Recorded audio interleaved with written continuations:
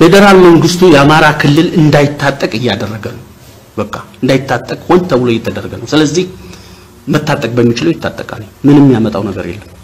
እንዳይታጠቅ እየተደረገ ነው። ህጋዊ በሆነ እኮ እንትን ተብሏል። የክልሉ እንትን ኃይል ህጋዊ በሆነ ሲባል አይ እንቅፋት እየፈጠረ ነው። ህጋዊ በሆነ ካላገኘው እየተጠቃ ዝም አይልም። እስከ አፍንጫው ይታጠቃል። ታጥቆ ይሰለጥናል። እኛ ማድረግ የምንችለው ምንድን ነው? እያስታጠቀው አይደለም፣ ሆን ተብሎ እየተደረገ ነው። ተመልከት። ይህን ያህል ጊዜ ስንሆን ሶስት አራት ጊዜ ሌሎች የሚደርሳቸውን መሳሪያ ለእኛ ይድረሰን ብለን ጠይቀን እንቅፋት ፈጥረዋል። እዚያ ያሉ ላይ ያሉ መሪዎች በቃ እንቅፋት እየፈጠሩ ነው። ይህ ህዝብ እንዲታጠቅ አልተፈለገም፣ ሊያስመጡ ነው እንለዋለን። ምን ምን ያመጣል ይህን ካላደረገ?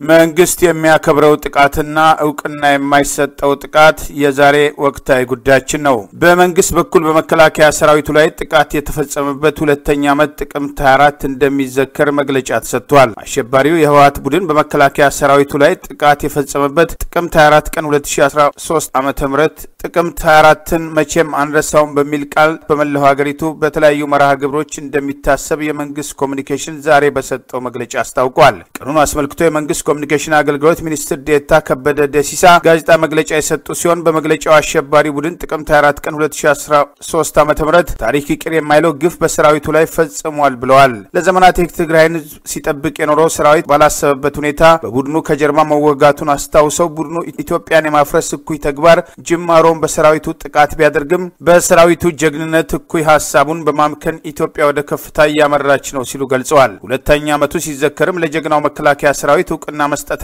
የሽብር ቡድኑ የክህደት ተግባር ዳግም እንዳይፈጸም ማስገንዘብን ያለመ ዝግጅት መሆኑን ገልጸዋል። በዕለቱ ከጠዋቱ አራት ሰዓት ላይ ሁሉም የህብረተሰብ ክፍል ቀኝ እጁን በደረቱ ላይ በማድረግ መሪ ቃሉን በአንድ ድምፅ ያሰማል ያሉ ሲሆን ደም ልገሳና የተለያዩ ድጋፎችም ይደረጋሉ ብለዋል። በመንግስት በኩል እውቅና የተሰጠው ጥቅምት 24 2013 ዓ ም የተፈጸመው በመከላከያ ሰራዊቱ ላይ ጥቃትና በመከላከያ ሰራዊቱ ሰሜን እዝ ላይ ጥቃት ከመፈጸሙ በፊት የነበሩ ሁኔታዎች ጥቃት ከተፈጸመ በኋላ ያሉት የመንግስት አካሄዶችና እርምጃዎች በተመለከተ ግን ግምገማ አልተደረገም። እኛ ማድረግ የሚችለው ማድረግ የሚችለው የሰለጠነው ኃይል ገበሬው መሳሪያውን በስርዓት እንዲጠቀም በደንብ እንዲሰለጥን ሁሉም ነገር አይነት ስልጠና እንዲወስድ ራሱን አካባቢውን ደህንነት እንዲጠብቅ ማድረግ ነው። ከዛ ውጭ ያለው ውሸት ነው። አንተ ህግ የሚከበረው ለሁሉም እኩል ሲሆን ነው። ለሁሉም እኩል ካልሆነ የእሱ ህግ ለእኛ ምናችን ነው? ይሄ ነው እኮ አንድ እንትን ነው። ህግ የምታከብረው ለሁሉም እኩል ሲሆን ተገቢ ነው ብለህ ታከብረዋለህ። ራሱ እስከ አፍንጫው እየታጠቀ ራሱ በተለያየ ዙር እየሰለጠነ እየረገጠ እያሳየና የእሱ ህግ ለምንድን ነው የሚከበረው? ለምንድን ነው ትግራይ ላይ ያን ያህል የመሳሪያ ክምችት ሲኖር ማስተካከል ያልቻለው? እዚህ መቶኛ ላይ ለምን ይፈንጫል? እዛ ላይ እኮ ማስተካከል አልቻለም።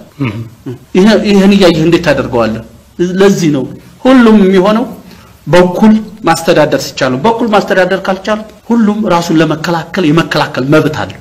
ቀኑን መዘከር አስፈላጊ ቢሆንም በጊዜው የደረሰው ጥቃት ብቻ ሳይሆን ባለፉት ሁለት ዓመታት ይህን ጥቃት ለመመከት በእርግጥ መንግስት ተገቢውን ኃላፊነት ተወጥቶ ነው ይህን አሸባሪ ኃይል እዚህ ያደረሰው የሚለው ጉዳይ ጦርነቱን ተከትሎ የአራት ኪሎ ገዢዎች የፖለቲካ ውሳኔ አካሄድ እንዲፈተሽ የሚጋብዝ ነው። ህወሓት ሰሜን እዝ ላይ ጥቃት ከሰነዘረ በኋላ በአማራና አፋር ህዝብ ላይ የሽብር ቡድኑ ይህ ቀረሽ የማይባል የጭካኔ በትሩን በሰላማዊ ሰዎች ላይ እንዲያሳርፍ ጥላቻውን እንዲወጣ በግልጽ ጭፍጨፋ፣ ዝርፊያና ውድመት የደረሰው ጥፋትም ለምን በዚህ ደረጃ ሳይደርስ ህወሓትን መመከት አልተቻለም የሚለው ምላሽ ዛሬም ድረስ ያስፈልገዋል። የመከላከያ ሰራዊቱን ሲያሸሽ፣ ህዝቡን ለጥቃት ሲያጋልጡ፣ የመንግስት አቅጣጫ እስኪሰጥ ጠብቁ በሚል ህወሓት ሌላው ቀርቶ አማራ ክልል እግሩ ከረገጠ በኋላ ታላላቅ ምሽጎችን ቆፍሮ ተጨማሪ ወታደራዊ ዝግጅት እንዲያደርግና የሚገዛውን እየገዛ የሚዘርፈውን እየዘረፈ የሚያወድመውን እያወደመ ተደላድሎ እንዲቀመጥና ወደ ደብረ ድረስ እንዲገሰግስ ያደረገው ክፋት አከል አማራን በጦርነት የማዳከም የአራት ኪሎ ገዢዎችን መንበር ያለ ተቀናቃኝ የመጽናት ሁለቱም ይለይላቸው አይነት የፖለቲካ ስትራቴጂና የጦርነት አያያዝም በአግባቡ ሊፈተሽ ይገባል። ባልታጠቀ ህዝብ ላይ 27 ዓመት አገር መርቶ የሀገሪቱን መከላከያ አራግቶ ከከባድ እስከ ቀላል መሳሪያ እስከ አፍንጫው የታጠቀ በጥላቻ የሰከረ የሽብር ኃይል የሚመራው ከሰለጠነ ወታደር እስከ ጀሌ ለጥፋት፣ ለጭካኔ፣ ለጭፍጨፋ የተሰማራበት እርምጃ ላይ ሁሉ እስኪሆን መንግስት እውን በተገቢው መንገድ ኃላፊነቱን ተወጥቶ ነበር የሚለው ትላንትም አልተፈተሸም፣ ዛሬም አልተመረመረም። ተጠያቂነት ጨርሶ ሳይኖር ገዢዎች እንደ ጲላጦስ እጃቸውን ታጥበው ከደሙ ንጹህ ነን የሚሉበት ዝክር የትም እንደማያደርስ የትላንቱን የህወሓት ጭካኔ ደግሞ ከመስማት ያለፈ እንዴት ያ ሁሉ ጥፋት ደረሰ? በጦርነቱ ሲቆምሩ የነበሩ የጦር አዛዦች፣ የግንባር አዋጊዎች መካከል ለዚህ ማን ተጠያቂ ሆነ? ይህ ተጠያቂነት ያልመጣው ከአራት ኪሎ ገዢዎች ታዘው ስለፈጸሙት አይደለም ብሎ አፍን ሞልቶ መናገር የሚቻልበት አንድም መረጃ ዛሬ ድረስ የለም። የመከላከያ ሰራዊቱ ላይ ሰኔ 24 ቀን 2013 ዓ.ም ጥቃት ከመፈጸሙ ጀምሮ ህወሓት በአደባባይ ሲያደርጋቸው የነበሩ ወታደራዊ ዝግጅቶችና ፉከራዎችን መሰረት በማድረግ ጠቅላይ ሚኒስትሩና ጓዶቻቸው ተገቢውን እርምጃ በመውሰድ ሌላው ቀርቶ በአዲስ አበባ ዙሪያ የሚገኙ የህወሓት ዋና ዋና ባለስልጣናትን ባሉበት እንዲያስሩና እንዲያስቆሙ ይህን የሽብር ጥቃት በተመለከተ መንግስት ተገቢውን ኃላፊነት መወጣት ሲገባው እንዴት ድንገተኛ የተባለ ነገር ግን ድንገተኛ ያልሆነና ህወሓት በአደባባይ ሲዘጋጅበት የነበረውን እርምጃ በሰራዊቱ ላይ ወሰደ የሚሉት ጥያቄዎችም ሌላ መልስ ይፈልጋሉ። አሁን እኮ አትከላከሉ ነው እያሉና ያለው እኛ እናዘጋጅ ስንል የለም አርፋችሁ ተቀመጡ ነው እያለ መልእክት እየተላለፈ ያለው ይሄ ነው እንትኑ። ስለዚህ ምንድን ነው ሁኔታው እስከተበላሸ ድረስ ስጋት አለ። ያን ስጋት የሌለ መሆን የሚያሳይለት እስከሌለ ድረስ ምንም እንትን ልትለው አችልም፣ ልታቆመው አችልም። በዚህ ጦርነት አያያዝ ላይ የመንግስት ለህዝቡ ታማኝ አለመሆን ይልቁኑ በተረኝነት ስልጣን የያዙት የኦሮሞ ገዢዎች መንታ መንገድ በሚሊዮን በሚቆጠሩ ዜጎች ላይ ፈርደው በጥፋቱ ስልጣናቸውን ለማጽናት ተፎካካሪ እንዳይኖር ይህንን ተግባራዊ ለማድረግ ተራችን ነው ብሎ የመጣን እርምጃ ጦርነቱን እንደ መልካም አጋጣሚ የመጠቀምና ጦርነቱ አማራና አፋርን እስካወደመ ድረስ አራት ኪሎ ስልጣን እስካልተቀናቀነ በጦርነት አያያዝ በሚል ስም ሲወሰዱ የነበሩ እርምጃዎችና ወታደራዊ እርምጃዎቹን ማቀዛቀዝና ሌላው ቀርቶ የመከላከያ ሰራዊቱ ከተለያዩ ቦታዎች ላይ እየሸሸ እንዲወጣ የተደረገበት ሰላማዊ ሰዎች ለጥቃት የተጋለጡበትና መንግስት ተገቢ ኃላፊነቱን ያልተወጣበት እርምጃዎች ዛሬም አልተፈተሹም፣ እንዲፈተሹም ፈቃደኝነት ያለ አይመስልም። ብርጋዴር ጀነራል ተፈራ ማሞ ጦርነቱን አስመልክቶ ከፍትህ መጽሔት ጋር ባደረጉት ቃለመጠይቅ ኋላ ለኢሳት ሰጥተውት በነበረውም ተጨማሪ ቃለመጠይቅ በአማራ ላይ እንዲዘመት በጦርነቱ እንዲጠቃና ህወሓትን መንገድ ጠርጎ ለማሳለፍ በመከላከያ ሰራዊቱ አዛዦች በኩል የነበረውን ፍላጎት የተጋነነ ፍርሃትና ክፋት አከል ልግመኝነት ግልጽ ማድረጋቸው ይታወሳል። ህወሓት ከባድ መሳሪያ ታጥቆ መጥቶ ክላሽና አልፎ አልፎ ከመትረየስ በስተቀር ከባድ መሳሪያ እንዳይታጠቅ ያልተፈቀደለት የአማራ ልዩ ኃይልና ሌላው ቀርቶ ቆመት ጭምር በመያዝ እስከ ግንባር ድረስ የተሰለፉ የፋኖ አባላት ጭምር የሚያደርጉትን ተጋድሎ መከላከያ ሰራዊቱ በከባድ መሳሪያ እገዛ እንዲያግዝ ሲጠየቅ አዛዦቹ እምቢ ማለታቸውን ተከትሎ የአማራ ብልጽግና ለሚባለው ዋና ሹ ምክትል ጠቅላይ ሚኒስትር ደመቀ መኮንን ደውለው አቤት ሲሉ ስልኩን ደመቀ speaker ላይ አድርጎ ሲያወራ አብረውት የነበሩት ጠቅላይ ሚኒስትር አብይ አህመድ ታንክ ልኬልሃለሁ ምንድን ነው የምታወራው እስከ ማለት የጠየቁበት ሂደትና በመከላከያ ሰራዊቱ አዛዦች በኩል ግን ድጋፍ አለመሰጠቱ በአማራ ልዩ ኃይል አባላትና በስፍራው በነበሩ የፋኖ አባላት ላይ የተከፈለውን አላስፈላጊ መስዋዕትነት ማስቀረት ይቻል እንደነበር በጸጸት ያነሱበትና በመከላከያ ሰራዊቱ አንዳንድ አዛዦች በኩል ህወሓት መርቶ ለማምጣት ያለው ፍላጎትን በፖለቲካ ውሳኔ የተሰጡት አካሄዶችና የጦርነቱን አሻጥር ማጋለጣቸው ይታወሳል። እኔ አዎ ስጋት ብቻ ሳይሆን ያደርገዋን የሚል ነው። ምክንያቱ የህወሓት ባህሪ ነው። ህወሓቶች ለዚህ ለውይይት ለድርድር በጋራ ለመስራት ምቹ አይደሉም። ምንም ምቹ አይደሉም። ሁልጊዜ ትርፍ ይፈልጋሉ። ሁልጊዜ ትርፍ ፈላጊዎች ናቸው። ማንም ይኸው ገና ገና ከምስረታቸው ይጀምራል። አሁንም ይሄ ቀጥ ያሉት ምን መሰለህ ተመቱ። እንደገና ደግሞ የምግብ የሎጂስቲክ እጥረቱ የያዛቸው የምግብ እጥረት፣ የነዳጅ እጥረት፣ የተተኳሽ እጥረት፣ የብዙ ነገር ገጠማቸው። ይህን ለማስመሰል ነው። ግን አሁን የሚሄደው እኔ እርግጠኛ የምሆነው የሚሄደው እህል እውነተኛ ለህዝቡ አይደርስም።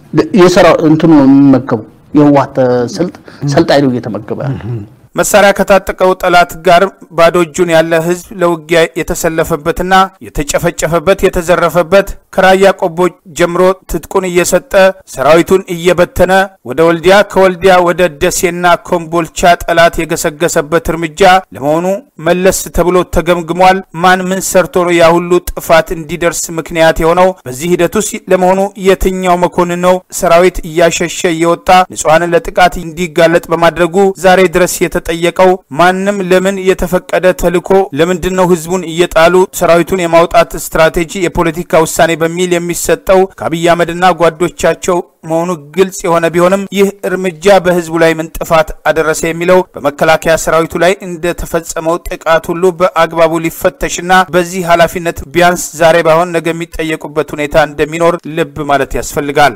አፍ ሲያመልጥ እንዲሉ ጠቅላይ ሚኒስትሩ በፓርላማ አንዳንድ ጄኔራሎች ከህወሓት ብር ገንዘብ ይላክላቸውና በአካውንታቸው ይገባላቸው እንደነበር አንዳንዶቹ የማናውቀው ብር በ አካውንታችን ገብቷል ሲሉ የቀሩት ዝም ብለዋል ብለው የተናገሩ ቢሆንም ዛሬም ድረስ በአደባባይ የሚታወቅ በዚህ አሻጥር ውስጥ የተሳተፈና ከህወሓት ገንዘብ ተቀብሎ ዝም ያለ ጄኔራል ለፍርድም ሆነ ለጥያቄ ስለመቅረቡ የሚታወቅ ነገር የለም። ይህ ከሆነ ጠቅላይ ሚኒስትሩ በፓርላማ ወይ ሀሰተኛ መረጃ ሰጥተዋል፣ ካልሆነም እነ ብርጋዴር ጄኔራል ተፈራ ማሞ ሲሰጧቸው የነበሩት ምስክርነቶችን መሰረት በማድረግ መከላከያ ሰራዊቱ አዛዦች መካከል በዚህ ሚና ውስጥ የነበሩና በጦርነቱ እንዲቆምሩ ኃላፊነት የተሰጣቸው የመከላከያ ሰራዊቱን ከባድ መሳሪያ እየጣሉ ሰራዊቱን ይዘው የወጡትን በተለያዩ ግንባሮች መስዋዕትነት የከፈሉና ሰራዊቱ ኃላፊነቱን እንዲወጣ ካደረጉት እኩል ዛሬ ድረስ በሰላም እንዲኖሩ የተፈቀደበት እርምጃ እውን የፖለቲካ አስተዳደሩ ፍላጎት ማጣት ወይስ ነገሩን አይቶ እንዳላየ በማለፍ ካልሆነም የሰጣቸውን ትዕዛዞች ተግባራዊ በማድረጋቸው ሊጠይቃቸው ባለመፈለግ የሚሉት ጉዳዮች ግን የግድ መልስ ይፈልጋሉ። እኛ እንደ ሀሳብ የምንሰጠው የኢትዮጵያ ሰራዊት ኢትዮጵያን መምሰል አለበት። ኢትዮጵያን መምሰል አለበት ማለት ምንድን ነው? የኢትዮጵያን ዳር ደንበር ማስጠበቅ አለበት። ባለፈው መንግስት ጀነራሎችን ለማነቃቃት ከላይ እስከታች ያደረገው ነገር አለ። ተገቢ ነው እንደዛ መሆኑ ተመልከት። ጀነራሎቹ ደግሞ ቁጭት ሊኖራቸው ይገባል። ቁጭት ሊያድርባቸው ይገባል። ይኸው ተይዟን እኮ መሬቱ አሁን የአማራ ቦታ እኮ የተያዛለ ተመልከት። ጎንደር ላይ ይሄ ማይጠብርን ይዘህ እዛ አካባቢ እንዳነቁ ነው ያሉት። ራያ አካባቢ፣ ሰቆጣ አካባቢ ብዙ ወረዳዎች ተይዟል። ህዝብ እየተናገረ ነው። ስለዚህ ይሄ የጦር መኮንኑ ከፍተኛው ጀነራል መኮንኑ ውጊያ የውጊያ ኃይል በተገቢ ማዘጋጀት አለበት። ገፍትሮ መጣል አለበት። ዳር ደንበሩን ማስጠበቅ አለበት። ቦታውን ይዘውታኒ ቦታውን እስከያዙ ድረስ መስራት፣ መሪ፣ አዛዥ፣ ጀነራል መሆን መቻል አለባቸው። ጀነራል ሆኗል ቦታውን የያዘው ጀነራል ሆኖ ማሳየት አለባቸው። ማሳየት የሚችሉ ደግሞ ኢትዮጵያን ሰላም ሲሆን ነው። የጦርነቱን አሻጥር ያጋለጡት ብርጋዴር ጄኔራል ተፈራ ማሞና እሳቸውን ቃለመጠይቅ ያደረገው የፍትህ መጽሔት ማኔጂንግ ዳይሬክተር ጋዜጠኛ ተመስገን ደሳለኝ ግን የሰራዊቱን ሚስጥር አወጣ በሚል ሐሰተኛ የአቃቢ ሕግ ክስ ከአምስት ወራት በላይ እስር ቤት የቆየ ሲሆን ባለፈው ጥቅምት 11 ቀን 2015 ዓ ም ሁለቱን የአቃቢ ሕግ የፈጠራ ክሶችን ፍርድ ቤቱ ውድቅ በማድረግ ሶስተኛውን ክስ በተመለከተ በመገናኛ ብዙኃን አዋጅ መሰረት እንዲከላከል ብሎ ውሳኔ የሰጠ ቢሆንም ከአምስት ወራት በላይ የታሰረው ጋዜጠኛ ወጥቶ ጉዳዩን በውጭ መከራከር የሚችልበት እድል በህግ የተቀመጠ ቢሆንም ይህ ተግባራዊ ሳይደረግ አስቀድሞም በመቶ ሺህ ብር ዋስትና እንዲወጣ የተሰጠው ትዕዛዝ ዋስትናው ከተከፈለ በኋላ ተግባራዊ እንዳይሆን የተደረገበት እርምጃ በእርግጥ የሰሜን እዝን ጥቃት የሚዘክሩ ወገኖች ጥቃቱን ተከትሎ ጦርነት ሲቆመር የነበረውን እርምጃቸውን መለስ ብለው ለማጤን ይሞክራሉ የሚለው አባቱ ዳኛ ልጁ ቀማኛ ከሚል በስተቀር እነዚህ ወገኖች ራሳቸውን መለስ ብለው ለማየት የሚችሉበት እድል እንደሌለና ሌላውን መጠየቅ የማይፈልግና የሰሜን እዝን ጥቃት ብቻ አጀንዳ በማድረግ ጥቃቱን ተከትሎ የተፈጸሙ ጭፍጨፋዎችና በንጹሐን ላይ እንዲዘመት የተደረገበት ምክንያት የመከላከያ ሰራዊቱ በአቅሙ ልክ ነገሩን ሊመክት ያልቻለበትና ህወሓት አራት ወራት ሙሉ አማራ ክልል ከረገጠ በኋላ ወደፊት በጦርነት እየገፋ የፖለቲካ ውሳኔና አቅጣጫ ይሰጣል በሚል ጦርነቱ የተቀዛቀዘበትና የመልሶ ማጥቃት እርምጃው ሳይካሄድ የቆየበት ውሳኔ ግን በአግባቡ ሊጤንና ለዚህ ውሳኔ ተጠያቂ መሆን ያለባቸው ህወሓት ንጹሐንን እንደጨፈጨፈ ሁሉ ንጹሐንን በማስጨፍጨፍ ኃላፊነታቸውን ባለመወጣት ከስልጣን መውረድ ለፍርድ መቅረብ የሚገባቸው ኃይሎች ዛሬም ድረስ እጃቸውን አጣጥፈው ጣታቸውን በህወሓት ላይ እየቀሰሩ ራሳቸውን ከተጠያቂነት ለማዳን የሚያደርጉት እንቅስቃሴ የትም እንደማያደርስ ግን ማስታወስ ግድ ይላል። ጦርነቱን በድብቅ ፍላጎት መርተዋል የሚባሉት ጠቅላይ ሚኒስትር የዘመትኩበት ጨዋታና ለአራት ወራት ያስቆሙት ህወሓት እያጠቃ ሰራዊቱ እየሸሸ ደብረ ሲና የደረሰበትን የፖለቲካ ውሳኔያቸውን ወደ መልሶ ማጥቃት ትዕዛዝ የሰጡበት እርምጃ ሌላው መፈተሽ ያለበት ጉዳይ እንደሆነ የሰሜን እዝ ጥቃት ብቻ ሳይሆን ጥቃቱን ተከትሎ አሸባሪውና ወራሪው የህወሓት ኃይል በአፋር አባላን አልፎ በአማራ ክልል እስከ ደብረ ሲና የደረሰበት እርምጃ በተመለከተ ዛሬም መልስ የሚፈልጉ ጥያቄዎች አሉ። ተመልከት፣ የህወሓት ጀነራሎች እኮ እንዴት እንዳበጡ አይታቸው የለም የሚናገሩት እዚህ ያሉትን ጀነራሎች እንዴት እያንዳንዱን እያነሱ እንደሚናገሩ አይተሃል። ይህን አፍ ማዘጋት አለበት። አሁን የኢትዮጵያ ጀነራሎች ብቅሉና በፌስቡክ ይሄ ተባለ እንደዚህ ተባለ፣ ይሄ ትርጉም የለውም። ይህን ማዘጋት አለባቸው። ጀነራል ሆኖ መታየት አለበት፣ የጀነራሊቱን ሚና መጫወት አለበት እንጂ ተራ ይሄድና እገሌ የሚባል ጋዜጣ ጻፈብን፣ ይሄ ፋይዳ የለውም። ስራ ሲሰሩ ነገ የጻፈባቸው ጋዜጣ መልሶ አንበሳ ብሎ ይጽፍላቸዋል። ካልሆነ ግን አንበሳ አይደለም ተሳስቶ ነው እንጂ ምጥምጥ ድመት ነህ ሊለው ይችላል። በዚህ ጊዜ ድመት ተባልኩ ማለት የለበትም። እንደውም ጊዜያቸውን በዚህ መዋል የለባቸውም። ይህ social media ው እንደዚህ ተባለ በሚለው አጀንዳ ማድረግ የለባቸው። አጀንዳቸው ጥላትን ቅስሙን ሰብረው ለትግራይ ሕዝብ ሊደርሱለት ይገባል። ለምን አራት ወራት ሙሉ ህወሓት እየገፋ ሲመጣ የመንግስትን አቅጣጫ ጠብቁ እየተባለ እየዘረፈ እንዲያግዝ ከ32 በላይ ታላላቅ ፋብሪካዎችን ነቅሎ እንዲወስድ ንጹሐንን ያለ ከልካይ እንዲጨፈጭፍ ሲደረግ ዛሬ ትግራይ ድረስ ዘልቀው ወታደራዊ ኢላማዎችን የሚመቱ የአየር ኃይል ሰው አልባ አውሮፕላኖች ወይም ድሮኖች እንዴት ከትግራይ የሽብር ቡድኑ ታጣቂዎች የሚመጡበት ታንክና መድፍ እየነዱ የተጓዙበትን መንገዶች ቆርጠው ጥቃቱን ማስቆም አልቻሉም? ይህንን ትዕዛዝ መስጠት ያቃታቸው ጠቅላይ ሚኒስትሩ ለምንድን ነው የሚሉ ጉዳዮችን በአግባቡ መፈተሽ አለባቸው። በአፋር አባላ በኩል ወደ ትግራይ የሚገባው የእርዳታ እህል ያልተቋረጠ ሲሆን ህወሓት ይህን የእርዳታ እህል ራሱን ለማጠናከር ጭምር እየተጠቀመበት ቢሆንም በአማራ ክልል በኩል በሰሜን ጎንደርም ሆነ በሰሜን ወሎ አቅጣጫ ወደ ትግራይ የሚሄድ እንቅስቃሴ ባለመኖሩ የሽብር ቡድኑ ታጣቂዎችና ከባድ መሳሪያዎችን እየነዳ እየመጣ በተቃራኒው ከፈጸመው ጭፍጨፋና ውድመት የዘረፋቸውን እያጋዘ የሚሄድበትን መንገድ መቁረጥ አለመቻል በሰሜን እዝ ላይ በቸልታ ጥቃት እንዲፈጸም ከማድረግ አልፎ ይህንን ጥቃት መሰረት አድርጎ በተፈጸሙት ወረራዎች ላይም ኃላፊነትን በአግባቡ አለመወጣት በግልጽ የሚታይበት እርምጃ ሲሆን ይህ ክህደት በአግባቡ ሊያስጠይቅ የሚገባ የጦርነቱ መነሻና መድረሻን ቁልጭ አድርጎ የሚያሳይና ህወሓት በእርግጥ አቅሙ ከመንግስት አቅም በላይ ሆኖ ነው ወይ ዛሬ ድረስ እየተዋጋ የቀጠለው የሚሉት ጉዳዮች ግን አራት ኪሎ ያሉ ገዢዎች የግድ ሊመልሷቸው ይገባል። ይህን ጥቃት መሰረት አድርጎ የነበረው ጥቃቱን የመመከት ብሎም የማጥቃት እርምጃዎች በተደጋጋሚ ለምን ጥያቄ የሚያስነሱ ንጹሐንን ለጥቃት የሚያጋልጡ ሆኖ የሚለው ጉዳይም በእርግጥ መልስ ይፈልጋል። ብርጋዴር ጀነራል ተፈራ ማሞ የጠቅላይ ሚኒስትሩን መዝመት ህወሓትን ከደብረ ሲና ጠራርጎ ለማስወጣት ብቸኛ መፍትሄ ተደርጎ ሲቀርብበት የነበረውን በተመለከተ በቃለ መጠይቅ በሰጡት ምላሽ ላይ ዛሬም የብልጽግና የፖለቲካ ሴራ ላልተዋጠላቸው በጦርነቱ መቆመሩ ለማይቀበሉ ማስታወስ ግድ ይላል። ጠቅላይ ሚኒስትሩ የጦር ኃይሎች ጠቅላይ አዛዥ በመሆናቸው የሰሜን እዝ ጥቃት ከመፈጸሙ ሆነ ጥቃቱ ከተፈጸመ በኋላ በአማራና አፋር ክልል የሚደረጉ ወረራዎችን ተከትሎ የሰራዊቱ የሚያደርጋቸው የዕለት በዕለት እንቅስቃሴዎች መረጃ ይደርሳቸው እንደነበርና ይህንኑ ተከትሎ እሳቸው የሚሰጧቸው የፖለቲካ ውሳኔዎች በጦርነቱ ላይ ቁልፍ ሚና እንደነበራቸው በግልጽ ይታያል። ትጥቁን እንዲፈታ ነገረ ነው። ትጥቅ አልፈታ ማለት ትጥቅ ሳይፈታ እንዴት ሊቀመጥ ይችላል? ሁልጊዜ ጦርነት ነው እንዴ? በህግ መታየት አለ።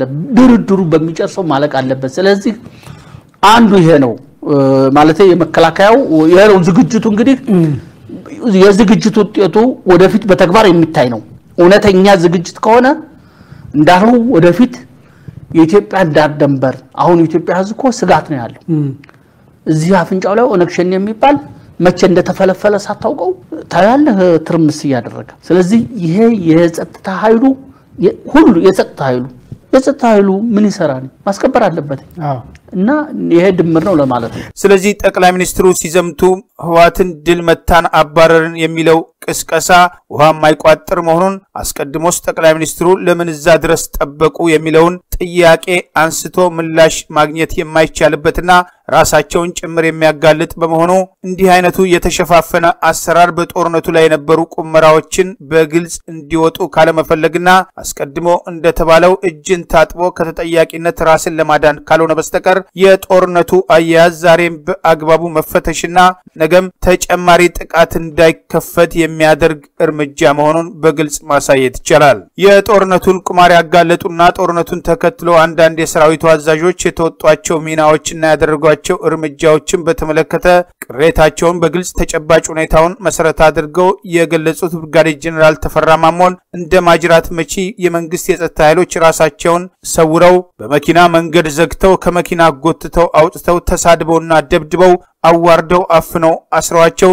ከሁለት ቀን በኋላ በሄሊኮፕተር ባህር ዳር የተወሰዱበት እርምጃ ጭምር ፍርድ ቤቱ ከፈታቸው በኋላ ያጋለጡ ሲሆን ለዚህ እርምጃ የፈጠነው መንግስት ጦርነቱን ተከትሎ እሳቸው ያነሷቸውን ሀሳቦች መሰረት ያደረጉ የጦር አዛዦች የፈጸሟቸውን ድርጊቶች በተመለከተ ዛሬም ድረስ አንድም እርምጃ አልወሰደም። የሰኔ 24 2013ቱ ጥቃት ሲነሳ ዛሬም ድረስ አብሮ ሊነሳ የሚገባው በተለይም የጦርነቱ ምዕራፍ አንድ ተጠናቋል ከተባለ በኋላ በቀጥታ ጠቅላይ ሚኒስትሩና ጓዶቻቸው ብርጋዴር ጄኔራል ተፈራ ማሞን ጨምሮ በሕግ ማስከበር ስም ጦርነቱን በተከላከሉ ህወሓትን ለመዋጋት የህይወታቸውን ጭምር ለመስጠት በየግንባር የተሰለፉ የፋኖ አባላትን የልዩ ኃይል አዛዦችን ከስልጣን ከማንሳት ጀምሮ እስከ ማሰር የተሄደበት እርምጃ የፋኖ አባላቱን ከመግደል እስከ ማሰር የተወሰደውና ዛሬም ድረስ በማጎሪያ ጣቢያዎች የሚገኙ የፋኖ አባላት በተመለከተ ግልጽ ምላሽ አለመገኘትና ድርጊቱን የእነሱን የስልጣን ለማደላደል የሚያደርጉት እርምጃ መሆኑን ህወሓት በሰሜን እዝ ላይ የወሰደው ጥቃትን ሲታሰብ ጥቃቱን ለመከላከል የተወሰዱ እርምጃዎችና ይህንን እርምጃ ተከትሎ በጦርነቱ የተቋመረበትን ጦርነቱን በተናጠል ተኩስ አቁም እርምጃ አቆመን ከተባለ በኋላ በቀጥታ ፊትን ወደ ፋኖና ወደ ልዩ ኃይል አዛዦች የተዞረበትን ልዩ ኃይሉን ለማዳከም የተወሰዱ እርምጃዎችን በአግባቡ መፈተሽና አብሮ ማንሳትም ይገባል። ወጣቶች በፋኖ እየሰለጠኑ ነው። ተመልከት። ገፊ ምክንያቱ ምንድን ነው? ገፊ ምክንያቱ የህወሓት ወረራ ነው። ተመልከት። ህወሓቶች በግልጽ ነው ነግረው ነው የመጡት። አማራን እንበቀላለን፣ የትግራይን እንባ የምናብሰው አማራን በመበቀል ነው ብሎ እኮ በግልጽ በየተራ ምንም አልተጠበቁት መጡ። እንዳሉትም ቅስም የሰበረ እርምጃ ወስደዋል። አሁን እኔ አንድም ይሰማኝ እሱ ነው። ተመልከት። በህይወታችን ይህ የመጡት መጡ የፈጸሙት ግፍ ተመልከት። እነዚህ ሰዎች እዛ ሲገቡ ከዚህ የተነሳ ፋኖ እንዲዘጋጅ የአማራ ህዝብ ይፈልጋል። ተመልከት ፋኖ እንዲዘጋጅ እንዲዘጋጅለት ይፈልጋል። በጦርነቱ ላይ ጥያቄ ያነሱ በተለይም ምዕራፍ አንድ ተጠናቋል ተብሎ በመልሶ ማጥቃት ህወሓት እየደረሰበት ያለውን ወታደራዊ ጥቃት መቋቋም ሲያቅጠው ጠቅላይ ሚኒስትሩ ለሰላም እድል እንስጥ በሚል ጦርነቱን አስቁመው የተናጠል ተኩስ አቁም እርምጃ ያወጁበት ሁኔታ ብረትን መቀጥቀጥ እንደጋለ ነው ያሉት የመከላከያ ሰራዊቱ ጀኔራሎች ሳይቀር አሁን የመልሶ ማጥቃት ነው፣ መልሶ ማጥቃቱ መቆም የለበትም፣ ህወሓት እስካልጠፋ ድረስ መልሶ ማጥቃት መቆም የለም የሚለው እርምጃና ጥያቄ ወደ ጎን በማድረግ ህወሓት ለሶስተኛ ዙር ወረራ እንዲዘጋጅና ሌላው ቀርቶ በአፋርና አማራ ክልል በተቆጣጠራቸው አካባቢዎች የሚፈጽማቸውን ግፎች አይቶ እንዳላየ የሆኑ የአራት ኪሎ ገዢዎች የሰሜን እዝ ላይ ጥቃት የተፈጸመበትን እርምጃ ብቻ ሳይሆን የእነሱን አመራር ተከትሎ በህዝብና አገር ላይ የደረሱ ጥፋቶችም በአግባቡ ሊዘከሩና ሊጤኑ እንደሚገባ ማስታወስ ያስፈልጋል። ጠቅላይ ሚኒስትሩና ጓዶቻቸውን ለስልጣን መንበር ያበቋቸው በጦርነቱ አያያዝ ላይ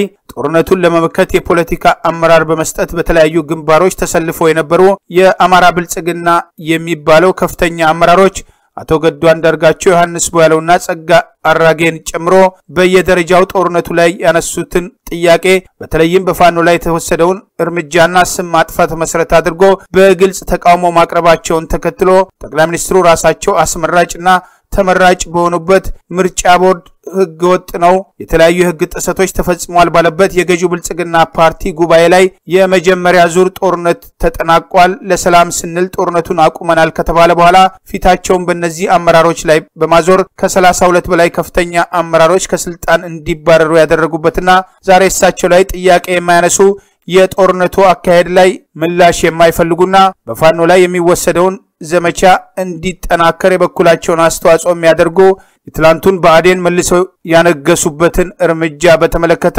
በጦርነቱ ላይ እንደተወሰደው ጥቃት ሁሉ በአግባቡ ሊፈተሽና ሊታይ እንደሚገባ ግን እግረ መንገድ ማስታወስ ይገባል። ሁለተኛ ዓመቱ በሰሜን እዝ ላይ የተወሰደው ጥቃት ሲዘከር ለመሆኑ በሰሜን እዝ ላይ የተወሰደውን ጥቃት አስቀድሞ ማቆም አይቻልም ነበር ወይ? አስቀድሞ የህወሓት መሪዎች አንዳንዶቹ ከአዲስ አበባ ተነስተው ወደ መቀሌ ከመሄዳቸው በፊት መንግስት ተገቢውን እርምጃ ለምን አልወሰደም? በጸጥታ ተቋም ውስጥ መከላከያ ሰራዊቱን ለዛ ደረጃ ጥቃት ያጋለጡ የሽብር ቡድኑ ጋር ግንኙነት ያላቸው አዛዦችን በተመለከተ እንዴት መንግስት መረጃ የለውም? በትግራይ ብቻ ሳይሆን በአዲስ አበባም የሬዲዮ ግንኙነት በመቁረጥ ሰራዊቱ ላይ ጥቃት እንዲፈጸም ያደረጉ የሽብር ቡድኑ አጋር የሆኑ ጄኔራሎች ኋላ ላይ በቁጥጥር ስር ከመዋላቸው በፊት አስቀድሞ ህወሓት ለጦርነት እየተዘጋጀና ቅስቀሳ እያደረገ ባለበት ወቅት እንዴት ከኃላፊነታቸው እንዲነሱ አልተደረገም። በደህንነት መስሪያ ቤት ውስጥ የሚገኙ የህወሓት ሰዎች ለውጥ መጣ ከተባለም በኋላ ሲያደርጓቸው የነበሩ እንቅስቃሴዎችን በተመለከተ ከመስሪያ ቤቱ ውስጥ ጭምር መረጃዎች እየወጡ ለማስጠንቀቅ የተሞከረ ቢሆንም ይህንን ሰምቶ እንዳልሰማ ሲሆኑ የነበሩ የአራት ኪሎ ገዢዎች በእንዝላልነት የሽብር ቡድኑ ጥቃት እንዲፈጽም እድል መስጠታቸው በራሱ እንደ ጥያቄ ሊነሳና በውሳኔው ላይ ያላቸው ሚና በግልጽ መታየትና መመርመር እንዳለበትም በሰሜን እዝ ላይ የተወሰደውን ጥቃት የሚዘክረው ኃይል ጥቃቱ እንዴት መጣ፣ እንዴት ተነሳና ጥቃቱን ተከትሎ የመጡ ወረራዎችና ጥፋቶችም በአግባቡ ሊመረምርና ሊያይ የሚችል ካልሆነ በስተቀር በመንግስት ቁጥጥር ስር ብቻ የትላንቱን ጥቃት በማስታወስ አሸባሪውና ወራሪ ህወሓት ኃይል የወሰዳቸውን እርምጃዎች ብቻ በማንሳት ለእርምጃዎቹ በተዘዋዋሪም ሆነ በግልጽ አስተዋጽኦ ያደረጉ ወገኖችን ከተጠያቂነት ማዳኑ ፍትህን እንደማያሰፍን ከወዲሁ ማስረዳት ግድ ይላል። አሁን መከላከያ ጠርጎ ትግራይ ገብቶ ሰላም ቢያደርገው ይህ ኃይል ይኖራል እንዴ? ምን አጀንዳ አለው? አጀንዳ እኮ ስላለ ነው የምንለው። አጀንዳ እኮ ከፊታችን እኮ አሁን ነገ ሊወረን ሊወር ይችላል። ይህ ኃይል ሌላ አጀንዳ የለውም እያልን ነው። ሊወር ከቻለ ደግሞ መዘጋጀት አለብንም። እንደ ባለፈው ከፍተን ሁለት ሶስት ጊዜ መመታት የለብንም ነው አሁን ይሄ የደቡብ አፍሪካው የዝግ ድርድር በኦሮሞ ብልጽግና ፓርቲ የበላይነት በሚመራው ገዢው ብልጽግናና በአሸባሪ ህወሓት መካከል የሚደረግ ድርድር መሆኑ የጦርነቱ ግንባር ገፈት ቀማሽ የሆነው አማራ በወራሪውና ወረራውን በአግባቡ በአቅሙ ልክ ባልመከተው ገዢ ፓርቲ እንደማይወከል የጦርነቱ አያያዝና ዛሬም ድረስ የዘለቀበት መንገድ በራሱ ግልጽ የሚያደርጋቸው እርምጃዎች መሆኑን የሚያነሱም ወገኖች አሉ። ጦርነቱን በአግባቡ ያልመከተው ገዢ ፓርቲ አይወክለንም ማለት ህጋዊና ተቀባይነት ያለው ሲሆን አማራን በአማራ ልጆች የመወከል ለአማራ ጉዳይ አማራ በወኪሎቹ መነጋገር ህጋዊና ተቀባይነት ያለው ጥያቄ መሆኑ በምዕራባውያን ጭምር ትኩረት ሊያገኝ እንደሚገባ የተጀመረው ዘመቻ በተመለከተ የጦርነቱ አያያዝና አመራሮችም እግረ መንገድ ሊፈተሹ እንደሚገባ ጠቆም ማድረግ ይገባል። የህወሓት ወረራ ሰሜን እዝ ላይ የወሰደው ጥቃት ጥቃቱን በወሰደበት ወቅት ከጨፈጨፋቸው ወታደሮች መካከል አንዳንዶቹን በብሔር ጭምር ነጥሎ አስክሬናቸውን ጭምር ለማዋረድ የሄደበትን የጥላቻ ርቀትና ከነነፍሳቸው አንድም በታንክ የሄደባቸውን ጠቅላይ ሚኒስትሩ ሬሳ እንኳን በብሔር ተለይቶ ጥቃት ተፈጽሞበታል ብለው በአደባባይ የተናገሩበትን የግፍ እርምጃ በተመለከተ አስቀድሞ የሰራዊቱ አዛዦች ለመንግስት ይሰጧቸው የነበሩ መረጃዎች ለምን ትኩረት አላገኙም? የመከላከያ ሰራዊቱ ወታደራዊ ደህንነት ምን ሲሰራ ነበር? የሚሉ ጥያቄዎች ግን ዛሬም በቂ ምላሽ የሚፈልጉና ጥቅምት 24 2013 ጥቃት ሲዘከር አብረው መነሳት እንዳለባቸው የሚያስታውሱ ወገኖች አሉ። የሆነው ሆነና የህወሓት ጭፍጨፋ ሲዘከር በሰላማዊ ሰዎች ላይ ባለፉት አራት ዓመታት በኦነግ ሸኔ ስም በሚንቀሳቀሰውና በኦሮሞ ብልጽግና ጭምር መታዘዙን የሆነ ኃይልን ለመምታት ያዘጋጁት ነው ሲሉ የቀድሞ የኦሮሚያ ክልል ሰላምና ጸጥታ ኃላፊ ብርጋዴር ጀነራል ከማል ገልቹ በአደባባይ ምስክርነት የሰጡበትን እርምጃ ዛሬም ድረስ የዘለቀበትና በአማራ ላይ ያነጣጠረው ብሔር ተኮር ጥቃት ያልቆመበት ጭፍጨፋው ከጊዜ ወደ ጊዜ ቁጥሩ እየጨመረና አድማሱን እያሰፋ የሄደበትን እርምጃ በተመለከተ መንግስት መቼ ነው ትኩረት የሚሰጠው? መቼ ነው በአደባባይ ጥፋቱ የሚዘከረው? መቼ ነው ይሄ ጭፍጨፋ የሚቆመው? የሚለውም ጉዳይ አብሮ በጥያቄ ሊነሳ እንደሚገባ አንዳንዶች ያነሳሉ።